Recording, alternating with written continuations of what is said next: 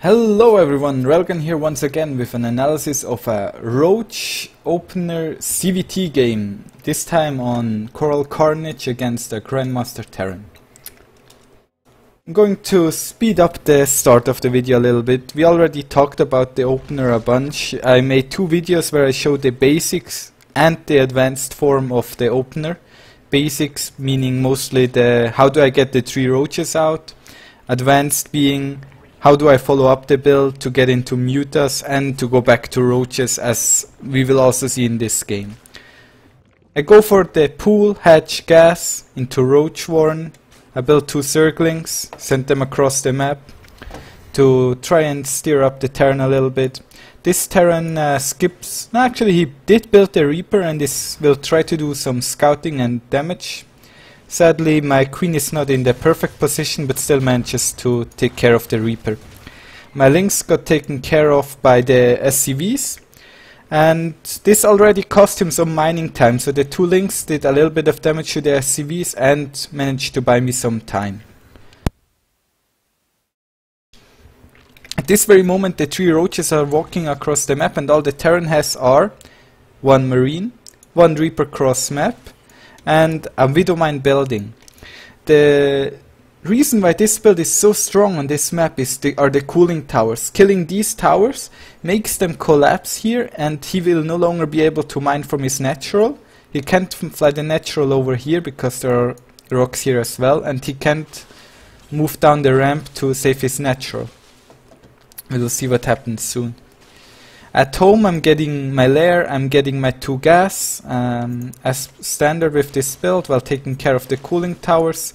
I still have a Reaper here, I could have done a better job at defending against the Reaper but I was not really focused on that. I managed to get the CC to lift. The, if we look at the mining, the Terran is 6 workers behind but still about even in terms of mining thanks to his two mules. Now this is where the Reaper comes back into action. He will kill at least one drone, I think. It's not too too big of a problem. We saw a scan by the Terran. This kind of shows the lack of information that the Terran currently has. He's unsure what's happening. He sees three roaches. He does. He sees no all-in follow-up, so he's already a little bit confused you can see that I'm taking care of these cooling towers as well so that he cannot attack me without medivacs. Yeah, thankfully he already has medivacs out so that's not a problem for him. Now at home I built the spire, I'm getting my fourth gas and I'm preparing for my Mutalisk switch. Seeing the medivac fly my way triggered me to build two spore crawlers. I knew that he had widow mines and I want to take care of the widow mines with spore crawlers. Spore crawlers allow me to see them to see the widow mines and this widow mine seven kills. Like the widow mine still got a huge hit off. I kinda hoped that the widow mine would shoot at the queen, but it uh, well I misplayed there. It was just a misplay. It shouldn't really happen usually. The spore crawlers are still helpful at dealing with medivacs, making sure that they medivacs cannot simply do a lot of damage to my drone line without getting damaged by the spore crawlers as well. Now I did follow it up with two additional queens going all the way up to four, five. The fifth is the fifth just finished, and we see a liberator coming. You see that I did not build a third hatchery yet because I am saving up gas and minerals for my mutalisks as soon as my overlords finish, and I built additional queens to be safe because I felt already ahead after my opener. Now, Liberator comes, gets scared, Zerg pulls drones, gets sad. At, um, at this point it's important that I have a nice saturation on all my bases. The Liberator comes again, and here you see a nice interaction. A queen survives two shots, then it gets transfused and it manages to live. Now my Mutalisks are out, I immediately follow it up with my two evolution chambers and roach speed, I, I believe, roach speed. Ah, not quite yet. Anyways, what I want to do is get plus one plus one roaches out. There comes the roach speed and the third hatchery, and play three base roach ravager with some Mutalisk support.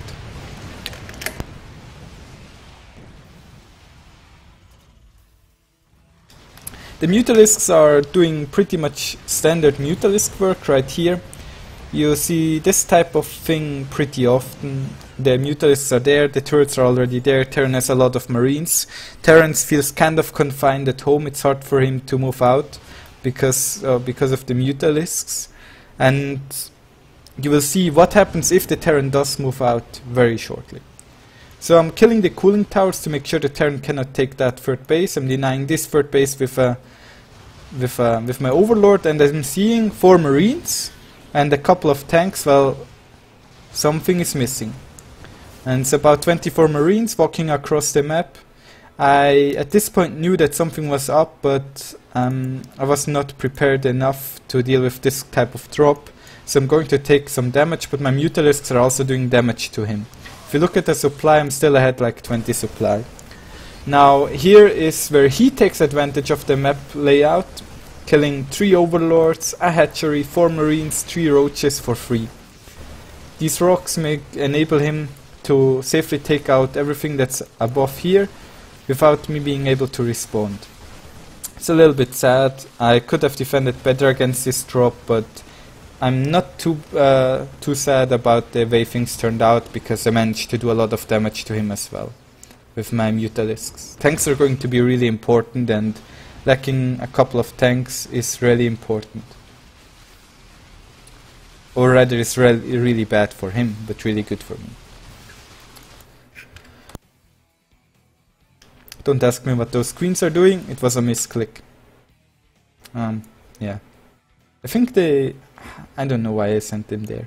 I'm a little bit oversaturated because he managed to take out my third base, so that put me a little bit behind. His third is also just started, so he was on two bases as well, and my plus one plus one is, is about to finish. Here he manages to take out some mutalisks, but mutalisks are not going to be important to my game plan in the long run. I'm kind of happy if I can trade the mutalisks at least somewhat efficiently because Microing mutas is a lot of work and if if I can lose my mutas for some tanks then that's then that makes me more than happy. This is hard to engage. I tried to make an engagement but I immediately noticed nah those marines are too many. I cannot fight against that many marines and siege tanks with pure roach. I need some more. Even though I have a small upgrade lead because he doesn't have the plus one armor yet. As you can see here. Now the Terran is starting up his combat shield, he's getting his armor upgrade right now, going for the plus one plus one, getting his third base, so our third bases are still about even. The game was quite chaotic, a lot of things went wrong for both players, but we are still about even, with me being slightly ahead in supply, but it's of course roach supply, so a little bit inflated. Trying to get every free marine that I can. And here we see another double drop coming, and I believe I have not spotted that, so the defense of that drop is going to be interesting. I'm going to speed it up just a little bit. The drop is arriving at my main base and I have to deal with the drop so I immediately pull some spawned roaches here. I pull everything home but I will notice that uh, I can deal with the drop anyway so I'm going to move back across the map quite soon. I do not have a fourth base yet. Actually, I'm taking out these rocks. Taking out the rocks is important because if he kills this cooling tower, then I'm in big trouble. As he could simply take out the lair with me having to take out the towers first. Now the Terran is on the move. The Terran moves out, it gets ready to drop some siege tanks. And this is quite an interesting situation. I'm going to wait a little bit. So this is the key engagement of this game. If you look at the way things look at the moment, it's plus 2 plus 2 Roach, Ravager against plus 1 plus 1 Marines. So I definitely have a lead there. I have a couple of Corruptors to do damage to his Medivacs while I fight, or even tank damage. And it's important for me to take a good engagement here. Excuse me. What I'm, what I did to begin with is pull, pull away all my drones. I pull away all my drones to the corner so I don't, don't lose them because I will need them later on. Then I want to have like a really good arc, like something uh, like this, where I can spread out my Roach Ravager and do maximum amount of damage to him. Then I have to take out these tanks with corrosive biles, these three tanks, while making sure that the marines cannot simply stim on my army and kill me. So I need to use corrosive biles to zone out the marines a little bit and to zone out the tanks. And we're going to see what this looks like now. You see I'm trying to spread out my Roach Ravager a little bit, some come from the bottom. The Corruptors go in, they die really fast. The tanks survive, I, man I missed some key biles there. and But the engagement is still going good for me because I managed to spread out my units enough and I had enough of an upgrade advantage that I managed to take this engagement favorably and get a lead in this game. He could have dealt a lot of damage with his drop, but he was limited in terms of multitasking as well, so he could not do that. Now I'm in a favorable position, being ahead 40 supply. If you look at units lost, I lost slightly more, but I also mined slightly more. Now here comes another drop, and I'm going to defend it with the with three roaches again, and that is that. At the front, here another here again he has four tanks. The marines are at the back. This is really bad for him because he wants the tanks to be protected by the marines. And in, and like this I can simply take out the tanks and the marines are going to have have a lot of trouble. So I'm, I will try to zone out the marines with corrosive biles to make them run away from me instead of push toward me. By making them run away they cannot shoot. Well, if they would push toward me they could just stutter step and shoot while moving. We will see this now. Going in, killing the tanks. He has to move away with the marines, enabling me some free shots. He has to move the marines away. This time he could run towards me, so he did not really lose any DPS at all. trying to do damage to the medivacs as well. And he will eventually clean this up. Now, if you look at the uni uh, units lost again, I'm even further behind. Uh, actually, I, the, the, trade was about even, but he lost a lot of tanks, and it's harder for him to reproduce tanks than it is for me to reproduce Roach Ravager, because I just have to press the R button, and the units appear. And then I press the T button, and they morph into Ravagers. And here I am, with another perfect army composition of Roach Ravager. Meanwhile, he's sending some liberators. I believe I scouted that, so I'm already... No, i I thought that drop was coming, or going to come, so I built a spore crawler and move my uh, creep queens down here to deal with the drop, but it's going to be liberators instead. I'm opening up this path as well, so I can take an even better engagement. And here you will see it again. Go in, Immediately shoot at the tanks. The marines have to run away so they cannot do damage.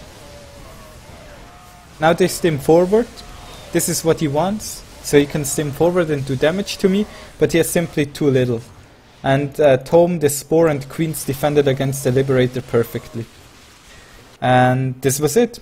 To give a quick summary, I opened with a Zergling, did nothing, three Roaches managed to take out the cooling tower, lift his natural, he countered with a drop, killing a lot of drones with a Widow Mine, but my fast Spire managed to pay back, managed to deliver some payback, kill a couple of his SCVs, take out a lot of his tanks. Meanwhile, his drop did a lot of damage at my third base, taking it out, killing a lot of overlords, roaches and drones. And my roach counter managed to do absolutely no damage at all as he already had tanks and marines stationed. But his next attack down here, he was fighting at an upgrade disadvantage, which uh, enabled me a really good victory over him.